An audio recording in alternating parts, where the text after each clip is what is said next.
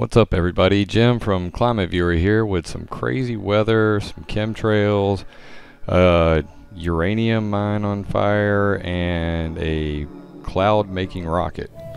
So, I'm going to try to get through this quick, and I know it won't be, so let me do it pretty quick. First, we got the NASA J2X Doghouse cloud, cloud forming rocket. I've known about this for a long time, and today, when somebody called me about all the chemtrails going on, I thought, you know, why not come out here? Let me turn this MODIS off real quick.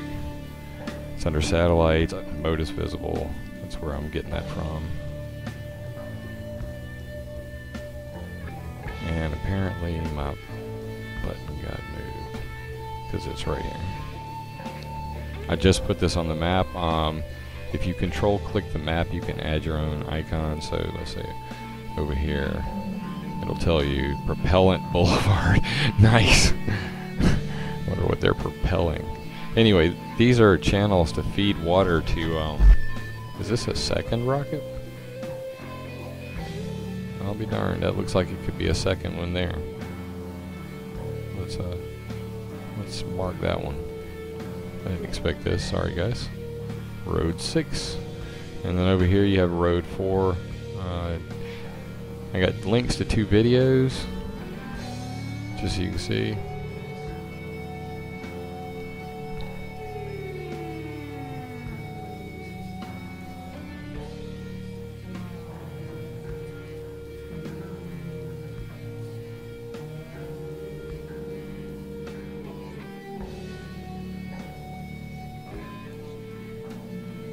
Yeah, how about that? Um, anyway, links are in the button there. Pretty cool. So I just want to kind of keep an eye on this thing. Kind of creeps me out. Very heavy, heavy potential to do some harm with something like that if someone who were nefarious were to get a hold of it. Anyway, then over here to um, the uranium fire, we have. Um, I'm gonna mention this on uh, ENENews and uh, a couple others. You can pop over here. Massive blaze burns through former uranium site in U.S. Idaho official. There may be minor increase in radioactivity levels. Let's check that real quick. We're at 59. I saw it at like 60, 60 earlier. Um, it's been fluctuating. That doesn't seem extremely high, but we're talking about Idaho over here. Um, as you can clearly see, there are no radiation uh, detectors. Let me make sure which way the wind's going.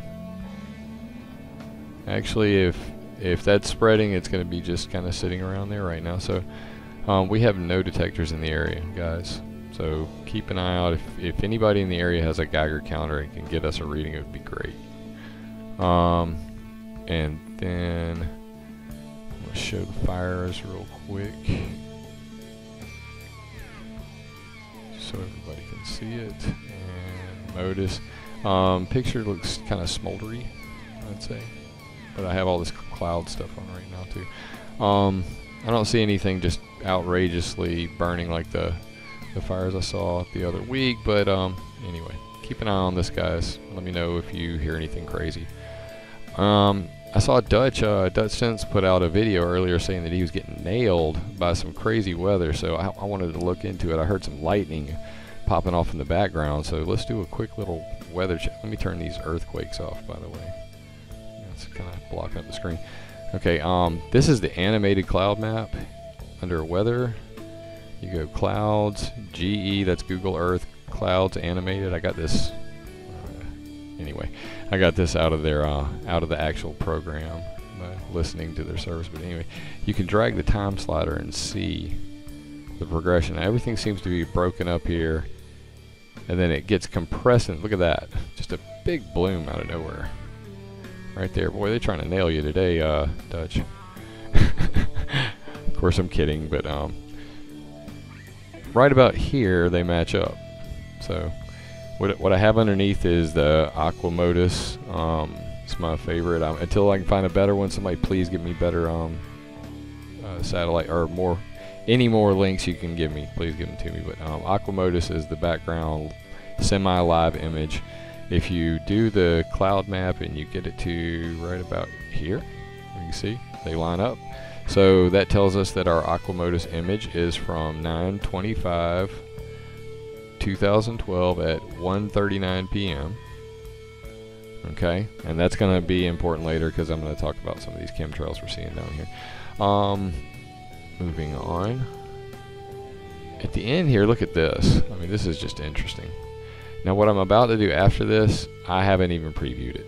So I want to do this with you. Maybe I'll be surprised. Maybe I'll be bored. But I have a feeling this may look pretty crazy. Yeah, that's just weird. It just kind of blooms up there. See that, guys? Well, let you know, since everybody likes to talk about NEXRADs, let's. I went and uh, found all of the NEXRAD radars in America, plus a couple you've never. Oh, no, I didn't mean me to do that. I meant to do this.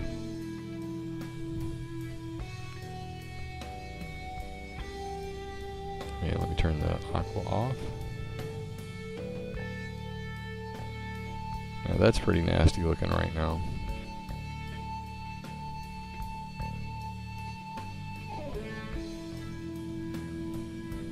Ooh, got what appears to be a beam there, pencil beam. Searchlight mode, also it's known as, could possibly be an anomaly. Somebody look into that. Void on that. I don't see anything else there. Let me. I'm trying to do this quickly. I don't want to waste too much time on this. Some nice scatter out here.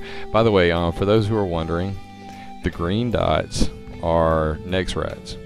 All right, I got links to them. Um, this stuff will not work. Uh, you may be able to like copy and paste it over there. I'll I'll come out with a tutorial on that later. Um, the green ones are NEXRADs. The red are Joint Surveillance System or the Federal Aviation Long Range Radar System. Um, these are for tracking planes. And the yellow ones are TDWR or Terminal Doppler Weather Radar. Um, these are short, uh, short range Doppler radars that are very highly highly accurate to also include um, downdraft and specific stuff for landing. So the difference being that these radars can point at the ground. Uh, they want to be able to see what the wind is right along the surface so that when a plane lands they can um, they can you know get all that data so big difference um, green ones long range yellow ones short range red ones also can be used for weather um, information I did verify that and blue ones are the um, integrated ocean observing system and they're Doppler radars that track the ocean currents and temperatures off the coast uh, just a quick um, comment that's got to drive dolphins crazy. I mean, think about how all that sound. You know, I mean, what does that do to the wildlife? All those chirps and pulses of electromagnetic energy being shot into the coastlines. I mean, really? Do we really need to know that much? Um, so let's do an animated version of this. I'm going to turn off the NEXRAD and we're going to go up here to the Google Earth animated one. Bring that up.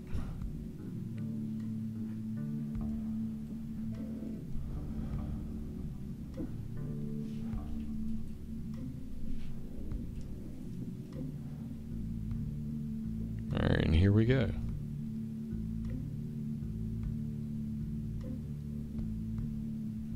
Pretty nasty.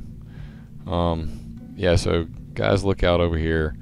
Um, you're going to get nailed uh, with some pretty nasty storms. Let's look at the current weather alerts.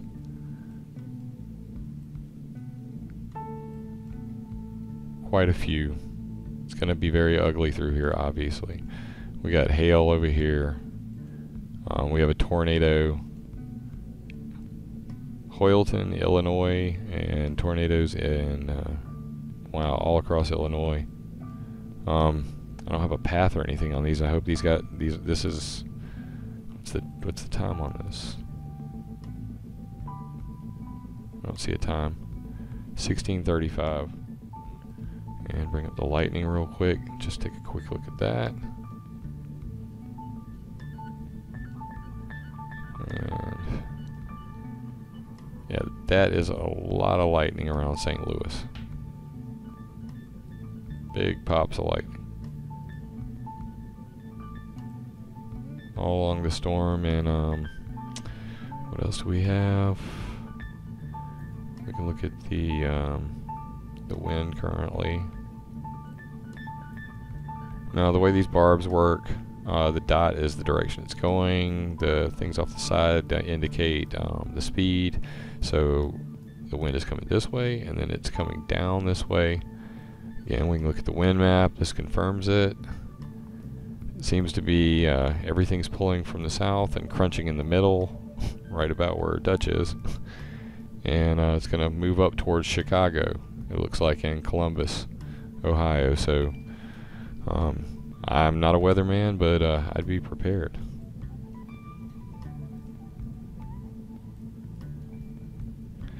Now, lastly, let's check out these chemtrails.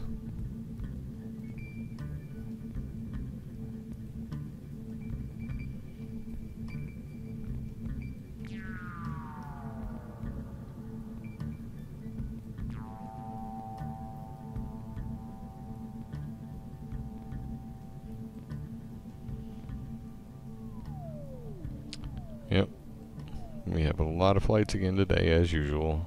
Nothing really stands out today. Just I got a call from a friend, and uh, a couple of my tweeters out there were saying that there's some heavy chemtrailing going on over Dallas Fort Worth. As we saw earlier, this was definitely over Dallas earlier.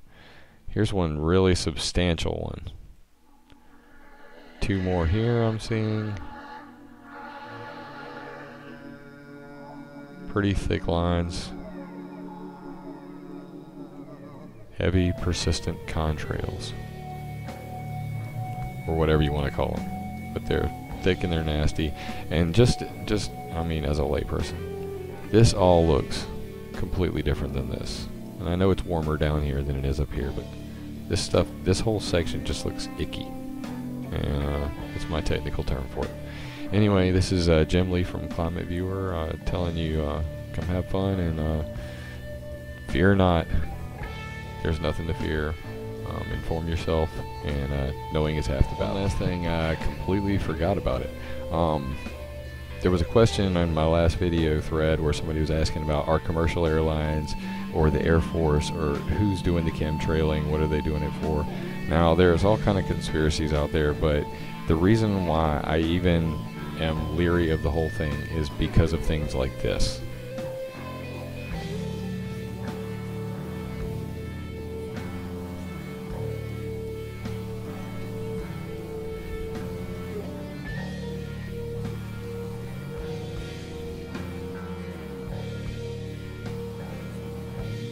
Okay.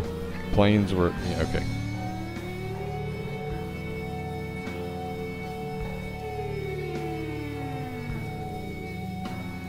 Okay, and you can watch this video. It's I reposted it um, on my YouTube feed.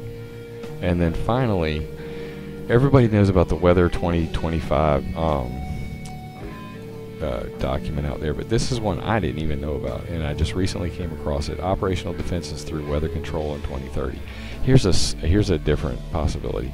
Could all the chemtrails and massive covering of the sky have to do with all the, the laser weapons and spy satellite stuff that's out there. The United States needs to incorporate defense against direct energy weapons with the same intensity used to develop anti ballistic missile defenses.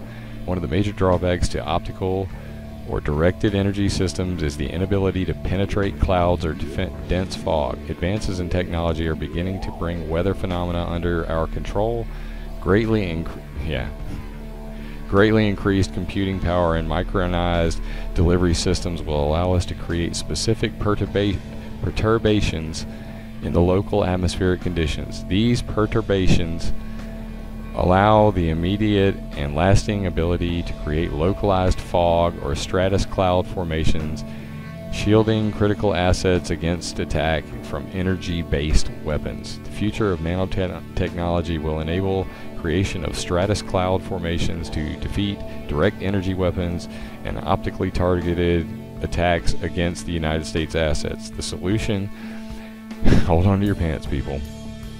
The solution, the weather control problem, nice, I type.